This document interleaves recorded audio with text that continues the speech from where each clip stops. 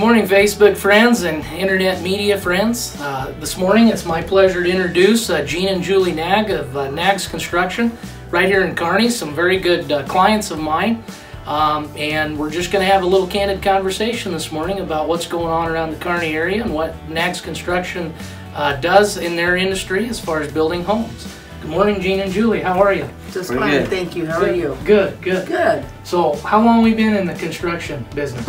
I started back in 76. 76. Back when the Oregon Trail was running. 1876. right next to the Oregon Trail. 1976. So you got a lot of years under your belt. yes, I've been building houses since I was in high school. Good. And you know, I've been educated over the last several years with you guys about uh, high performance homes. Uh, and I know that's your guys' forte and that's your guys' uh, biggest thing right now. And, and really the only builder in Kearney that I'm aware of that does that and specifies those properties as high performance homes. Let's elaborate on that, Gene. Tell Yeah. me what you know. High performance home is what we specialize in.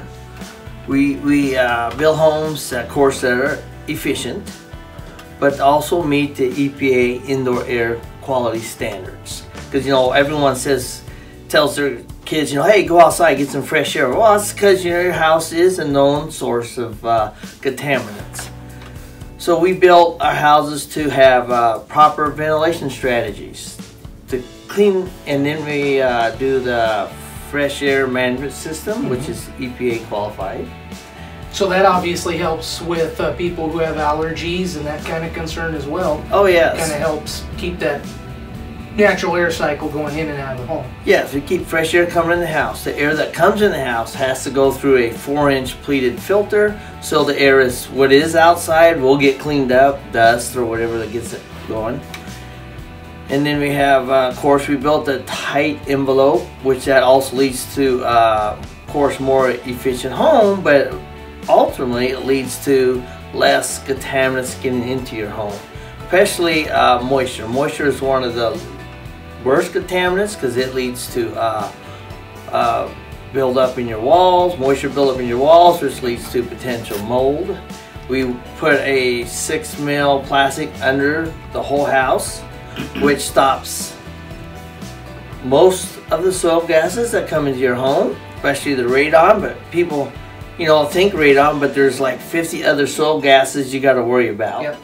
And it is, ladies and gentlemen, it's a true science what Gene and Julie do on their new construction homes. Uh, in addition to that, there's a blower door test that's put on these homes to check the, the, the air Yes. vacuum. If you, if you don't do the blower door test, you're just guessing how leaky is my right. envelope. So guess what? How can you properly size your unit if you don't know what the it's leaking? Same way with the ventilation strategy. You don't know what your house is leaking, or how much air do you bring in. Yep, exactly. So it all has to be measured out. And what I want to point out from my perspective, ladies and gentlemen, you know, once the new construction is completed by Knaggs Construction, uh, these homes get registered on an online registry database of high performance homes. So those are uh, a big resale factor when you're selling your home and you purchase a Knaggs Construction home. It, to me, it's a very wonderful tool to know for marketing purposes down the road.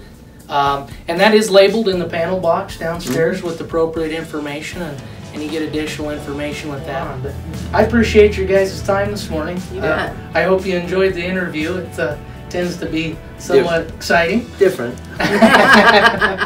So,